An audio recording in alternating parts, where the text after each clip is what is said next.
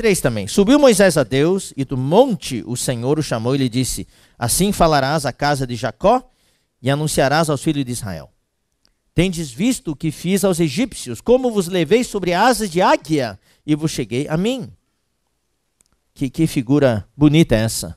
Deus se comparou a uma águia mãe e Deus colocou todo o povo dele sobre as asas como águias filhote. E Deus carregou a gente sobre as asas dele. Então você hoje está sendo carregado sobre as asas de Deus. Deus, a águia mãe, está te transportando de um lugar a outro. Sinta-se seguro sobre as asas de Deus. O importante é estar com o povo de Deus. Aqui, está vendo, não é indivíduo, é povo. É povo. Tá? Daqui a pouco eu vou explicar um pouquinho sobre a palavra. Tá? Vou explicar um pouquinho. Essa reunião está sendo transmitida ao vivo. Se você ouvir hoje as transmissões ao vivo dos cultos que existem nas muitas igrejas evangélicas, algumas muito sérias, né, tudo, uh, você vai ver que a nossa natureza da palavra é um pouco diferente. A nossa palavra é profética. É dirigida não só para o indivíduo, é para o povo de Deus. Hoje, esse tipo de palavra quase que não existe. O que existe hoje é uma palavra para o indivíduo. Claro, é falado para o povo de Deus, mas o alvo é o indivíduo. É o indivíduo. A nossa palavra também tem como alvo o indivíduo, mas juntamente na mesma palavra existe a palavra direcionada para o povo de Deus como um todo, porque Deus quer um povo. Deus quer um povo. Se não fosse assim, não precisaríamos estar aqui. Todo mundo assistiria em casa. Eu falaria sozinho aqui com o Messias e você estaria em casa assistindo. Que tal? Não precisa mais vir para a reunião. Hoje existem, é, existe essa linha teológica, essa linha de pessoas que acham que não precisa estar na igreja, não precisa estar com os irmãos, basta estar em casa, ser espiritual, ser um gigante espiritual, ler muito a Bíblia, é, é, buscar a santidade, a santificação e orar em casa é o suficiente. Eu vou explicar logo, logo na introdução, daqui a pouquinho, sobre eh, essa, essa falsa ilusão de espiritualidade. Deus quer um povo. Então Deus falou aqui, ó. Agora, pois, se diligentemente, versículo 5, ouvirdes a minha voz e guardardes a minha aliança, então sereis, não serás, sereis a minha propriedade peculiar dentre todos os povos. Vocês serão um povo que será minha propriedade peculiar, porque toda a terra é minha. Vós me sereis, ó, um reino. Deus não quer só um súdito, Deus quer um reino. Um reino de sacerdotes e nação santa. Ou seja, Deus quer um sacerdócio real. Pedro explicou isso na sua epístola. Ele quer um, um reino de sacerdotes, ou sacerdotes que também são reis. São estas as palavras que falarás aos filhos de Israel. Então, Deus quer um povo. Deus queria que esse povo de Israel fosse o povo dele, que conquistasse a terra de volta para ele. Mas esse povo foi rebelde, esse povo foi ah, teimoso, desobedeceu a Deus, pecou contra Deus, mas Deus foi paciente e levou esse povo até o final do Antigo Testamento, embora nos últimos 400 anos houve 400 anos de silêncio, Deus não falou mais com eles.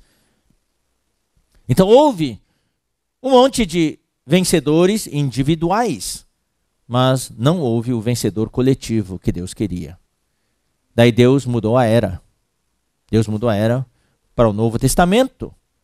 E no Novo Testamento, Deus começou a era da graça, uma nova dispensação. E Deus, hoje o foco de Deus é a igreja.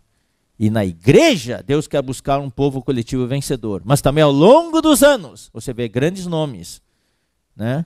John Wesley, certo? Quem mais?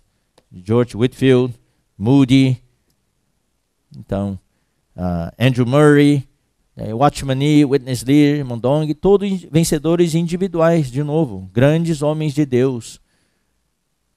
Mas hoje, pela primeira vez na história, está havendo uma possibilidade de que Deus obtenha o seu vencedor coletivo. E isso Deus vai obter na vida da igreja. Porque só na vida da igreja, que eu saiba, só na vida da igreja é falado sobre isso. É falado sobre isso. Então hoje nós estamos nesse processo de preparar esse filho varão. Fazer com que a maioria dos irmãos, tantos quantos forem possíveis, façam parte desse filho varão. Daí daqui a pouco fala sobre a inclusão. E aqueles que são fracos? Será que vão conseguir entrar? Bom, nós somos uma família, não somos? Quando, quando papai, mamãe e filhos, filhos grandes, filhos pequenos, filhos de colo, têm que fugir de uma tragédia, de uma inundação. Deixa os filhos pequenos atrás? Não. Carrega onde? No colo. Carrega no colo. Então, nós queremos hoje os irmãos mais fortes, irmãos. Eu não vou perguntar para você levantar as mãos. Quem são os irmãos mais fortes? Daí fica chato, né? Porque quem não levanta a mão já, ou oh, esses são os irmãos fracos. Daí a gente já começa a discriminar. Não, não pode haver discriminação na igreja, nem acepção de pessoas. Então, os irmãos que são mais fortes, nossa tarefa é carregar os irmãos mais fracos e todo mundo entrar junto. Não vai ficar ninguém atrás. Eu acho que isso é o verdadeiro vencedor coletivo. Ah, eu sou forte, eu vou, tchau para vocês, eu vou ah, correr lá para lá para frente. Não, eu vou carregar. Existe aquele, aquela música.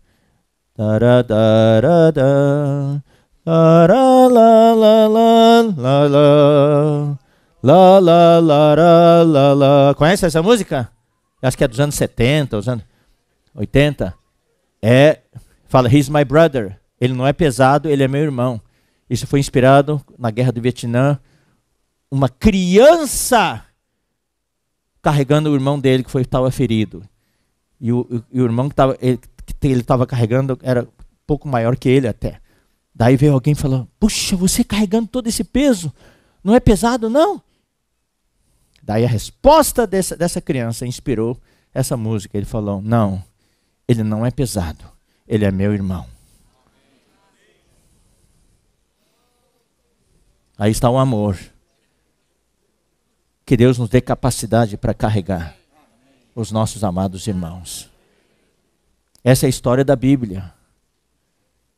O bom samaritano encontrou aquele homem caído no meio da estrada, na beira da estrada. Ninguém dava mínima para ele, mas ele o carregou.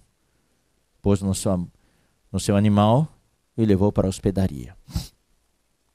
Então, hoje precisamos preparar o vencedor coletivo. Segundo, segunda missão é preparar o deserto. A América do Sul será o deserto onde vai pousar a águia. A mulher que fugir, depois que o filho varão for arrebatado, a mulher vai ficar. A mulher é grande maioria da igreja. Aqueles que não amadureceram em tempo. Deus vai colher. Hoje não temos tempo para falar os detalhes. Na escatologia existem as duas figuras: as primícias e a colheita final. As primícias sempre são colhidas primeiro, são os primeiros frutos, depois a grande colheita. A grande colheita será no final dos três anos e meio da grande tribulação. As primícias serão arrebatadas antes da grande tribulação. E quando o filho varão, no capítulo 14 são as primícias, no capítulo 12 é o filho varão. É o mesmo grupo de pessoas, sob o um enfoque diferente. Daí, quando os vencedores forem arrebatados, a mulher vai ficar. E Deus vai prover para a mulher as duas asas da grande águia, que nós queremos que será os Estados Unidos. Eles vão usar todo o transporte aéreo que eles tiverem para resgatar os cristãos e vão levá-los para o deserto, que nós queremos vai ser a América do Sul. Então nós temos que preparar esse lugar. Deixa a sua casa bem bonitinha, tudo bem abastecido, para quando você ser arrebatado, daí os cristãos poderem ficar na sua casa. Depois da reunião, depois da reunião, o irmão Kleber vai se encarregar de receber a inscrição dos irmãos que quiserem ficar com a minha casa na instância, na grande tribulação. daí eu vou fazer o sorteio, daí eu vou avisar vocês quem foi o vencedor. Hã? Ah, do, do, do, a sua também? Do, o, o, o, tá junto à casa também do Joquismar, tá? A minha casa é de frente, de vista para o lago, tá? Vista para o lago. De qualquer maneira, queridos irmãos, essa é a nossa missão na igreja. Então, esse tipo de palavra hoje não é falada aí fora. Só na igreja que temos esse tipo de. Quem, inclusive, ah, quem está assistindo pela internet e, e não está familiarizado com esses termos, tem dificuldade para entender.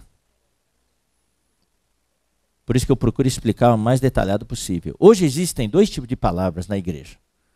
Eu quero esclarecer desde o começo para você entender. Eu estava considerando aqui, puxa, o que eu vou falar hoje vai ser transmitido ao vivo. E aquelas pessoas que não estão familiarizadas com essa terminologia, o que, que eles vão pensar? Nós falamos de tantos detalhes práticos. Falamos de comportagem dinâmica, falamos de quantos livros a pessoa coloca, falamos daqueles comportores dinâmicos, comportores semidinâmicos e comportores pouquíssimo dinâmicos. que, que negócio é esse? Que negócio é esse? Falamos do, das orações e tudo. Irmãos, isso é a palavra profética. Isso é a palavra profética. A palavra profética é a palavra dirigida para o povo de Deus, é uma orientação.